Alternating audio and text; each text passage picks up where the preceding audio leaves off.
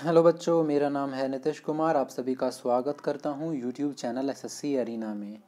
आज का जो हमारा टॉपिक होने वाला है, ये होने वाला है एसएससी सीएचएसएल 2018 में पूछे गए स्पोर्ट्स से रिलेटेड क्वेश्चंस आप सभी को पता है कि टीसीएस जो है वो एनटीपीसी रेलवे और एसएससी में ये क्वेश्चंस पूछता रहता है कि कौन सा कप कौन से खेल से संबंधित है। या आपको कोई शब्द दे देगा और बोलेगा, ये दिया गया शब्द किस खेल से संबंधित है? तो इस प्रकार के क्वेश्चंस एसएससी सीएचएसएल 2018 में जितने भी पूछे गए हैं, वो सारा मैं यहाँ पर आपके सामने लेकर के आया हूँ। हम उसे पूरा कवर करेंगे। और ये वीडियो बहुत इंपॉर्टेंट है आपके लिए। अगर आप एसएससी की तैयारी कर रहे हैं तो 2019 में आपको जितने भी एसएससी के एग्ज़ाम्स होंगे स्पोर्ट्स से रिलेटेड ये क्वेश्चंस रिपीट होते हुए मिल सकते हैं। तो वीडियो को प्लीज़ आप लोग एंड तक देखिएगा। और उसके बाद मुझे बताइएगा डिस्क्रिप्शन बॉक्स में कि आपको ये वीडियो कैसा लगा। हमारा पहला क्वेश्चन है आज का कि सीज़र कप किस खेल से संबंधित है? ठीक है? तो सीज़र कप है आपका फुटबॉल से संबंधित। ये क्वेश्चन पहले भी कई बार आ चुका है रिपीटेड है, ठीक है? सीज़र कप किस खेल से संबंधित है? फुटबॉल नेक्स्ट है हमारा, कौन सा खेल वेलोड्रोम में खेला जाता है? ठीक है? यानी कि कौन सा खेल है जो वेलोड्रोम में खेला जाता है? आपको पता होना चाहिए कि वेलोड्रोम क्या होता है। आप सभी अपने सेल फ़ोन पे गेम खेल चुके होंगे मोबाइल का या फिर मोबाइल में गेम खेल चुके होंगे साइकिलिंग का या मोटर बाइकिंग का तो यहाँ कोने में इस तरीके से मैप बना होता है रास्ता। तो इसी प्रकार का एक रास्ता टाइप का बना होता है, जिसे वेलोड्रोम कहा जाता है। ये रास्ता थोड़ा तिरछा होता है, जिस पर साइकिल चलाई जाती है, ठीक है? तो वेलोड्रोम अगर आपसे अगली बार पूछा जाएगा कौन से खेल से संबंधित है तो आप क्या जवाब देंगे? साइकिलिंग वेलोड्रोम साइकिलिंग में चलाया जाता मतलब साइकिलिंग जो है वो वेलोड्रोम में करवाई जाती है, ठीक है? अगला प्रश्न है हमारा जैब किससे संबंधित है? जे ए बी जैब ये किस खेल से संबंधित है? ये क्वेश्चन आपसे पूछा जाए तो आप आंसर करेंगे बॉक्सिंग यानी कि मुक्केबाजी. अब जरा देखिए कि जैब होता क्या है। अब आप ने देखा होगा बॉक्सिंग में कि यहाँ पे दो प्लेयर होते हैं, जब एक प्लेयर दूसरे प्लेयर के पास जा कर के उसे पंच करने की कोशिश करता है, क्योंकि पास से पंच काफ़ी तेज़ लगता है। तो दूसरा पर्सन क्या करेगा, इसे काफ़ी तेज़ी से धक्का देगा ताकि ये वाला पर्सन पीछे की तरफ़ हो जाए काफ़ी स्पीड में। तो इसे ही कहा जाता है एक तरीके से जैब पीछे धक्का बहुत ज़्यादा स्पीड में देने की जो होती है मूव उसी को बॉक्सिंग में कहा जाता है जैब तो उम्मीद है कि अगली बार जब भी आपसे जैब पूछा जाएगा तो आप आंसर कर देंगे बॉक्सिंग अगला शब्द है हमारा कॉक्स सी ओ सी कॉक्स किस खेल से संबंधित है? बच्चों सी एच एस एल में ही आपका ये स्पेलिंग एरर में भी कॉक्स आया था और काफ़ी बच्चों ने इसे गलत, वहाँ पे पूछा था कि जो गलत है उसे आप मार्क करें और कई बच्चों ने इसे गलत मार्क कर दिया था क्योंकि बच्चों ने सी ओ ए एक्स कॉक्स जिसका मतलब होता है चापलूसी करना, उससे रिलेट कर लिया था। ठीक है? जबकि ये सही था तो उन बच्चों का गलत हो गया था। आप देखिए कॉक्स का मतलब क्या होता है? जो नौका दौड़, जो बोट होती है इस तरीके से, यहाँ पर जो बैठ के चप्पू चलाता है, उसी को एक तरीके से कॉक्स बोला जाता है, ठीक है? तो कॉक्स शब्द का संबंध किससे है? नौका दौड़ से। अब एक क्वेश्चन है कि नौका दौड़ यानी बोट रेसिंग हमारे भारत के कौन से राज्य में होता है? सबसे ज़्यादा फ़ेमस है। तो ये क्वेश्चंस भी एक बार पूछा गया था और आपसे दोबारा भी पूछा जा सकता है तो आप याद रखेंगे केरला। केरला राज्य में बोट रेसिंग एक रेसिंग एक त्यौहार में होता है, जो कि काफ़ी इंपॉर्टेंट है नौका रेसिंग, ठीक है? यानी बोट रेसिंग। अगला है, बिब शब्द किस खेल से संबंधित है? बिब क्या होता है? बिब शब्द एक पन्ने पर छपे नंबर होते हैं। तो बिब जो है, वो रनिंग से संबंधित है।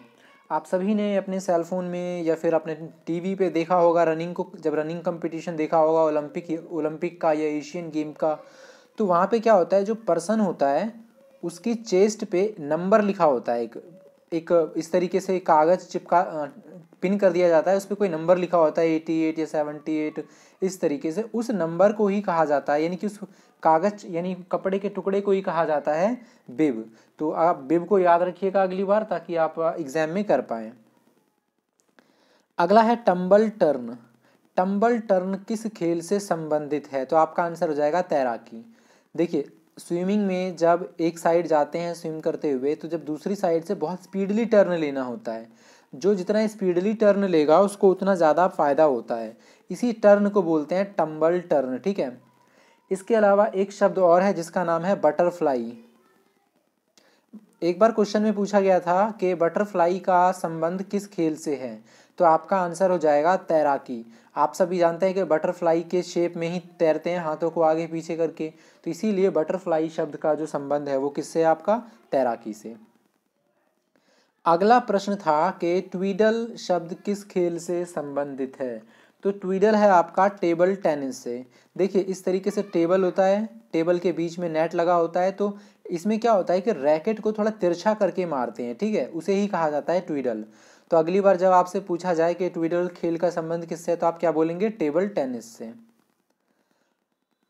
अगला है हमारा, एड्रेस शब्द किस खेल से संबंधित है? तो एड्रेस शब्द का संबंध है गोल्फ से। देखिए, जब भी कोई गोल्फर जो गोल्फ अपने हाथ में ले करके बॉल को मारने के लिए आता है तो उसे कहते हैं गोल्फ एड्रेस। उसका, उसको पूरा क्या कहते हैं? गोल्फ एड्रेस करना। तो बस वहीं से आपका शब्द लिया गया है एड्रेस तो एड्रेस शब्द किस खेल में संबंध है? आपका एड्रेस गोल्फ में। अगला शब्द है कि जैमिंग का संबंध किस खेल से है? तो जैमिंग आपका लॉन टेनिस से संबंधित है। कैसे? देखिए, उसमें होता क्या है? लॉन टेनिस आपको पता होगा, हमारे देश में शानिया मिर्ज़ा खेलती हैं। रॉजर फेडरर नोवाक जोकोविच महेश भूपति, काफ़ी प्रोमिनेंट प्लेयर्स हैं लॉन टेनिस के। तो लॉन टेनिस में एक मूव होता है, अपने रैकेट को काफ़ी तेज़ी से मारते हैं, नीचे की तरफ़ तिरछा करके ताकि बॉल अगले कोर्ट में जाए, बिल्कुल नीचे की तरफ़, ठीक है?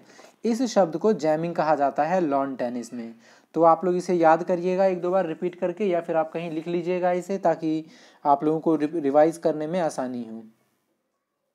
नेक्स्ट है हमारा डरबी ट्रॉफी का संबंध किस खेल से है? तो डरबी ट्रॉफी आप याद रखिएगा घुड़दौड़। अगली बार जब आप एग्ज़ाम देने जाएँ सीजीएल का तो कप और जो भी ट्रॉफी है ट्रॉफी के साथ जो टर्म्स होते हैं यूज़ किए जाते हैं शब्द खेल में, उसको आप पूरी तरीके से याद करके जाइएगा। ये रिपीट होंगे ही होंगे। तो डरबी ट्रॉफी का संबंध कौन से खेल से है? घुड़दौड़, यानी कि हॉर्स रेसिंग से। अगला है रोवर्स कप का संबंध किस खेल से है? तो रोवर्स कप का संबंध है फुटबॉल से। ये भी पहले कई बार पूछा जा चुका है। इससे पहले मैंने आपको इसी वीडियो में पहला वाला क्वेश्चन बताया था, सीजर कप का संबंध किस खेल से है? तो सीजर कप का संबंध भी फुटबॉल से ही था, ठीक है? अगला क्वेश्चन है हमारा, सुधीर रमन कप एक द्विवर्षीय इवेंट किस खेल से संबंधित है? देखिए, यहाँ पे आपसे कप का फिर पूछ दिया। तो सुधीर रमन कप आपका संबंधित है बैडमिंटन से। ये दो दुई वर्ष दुई वर्ष का मतलब होता है कि प्रत्येक दो साल में इस सुधीर रमन कप का आयोजन होता है जो कि बैडमिंटन से संबंधित है, ठीक है?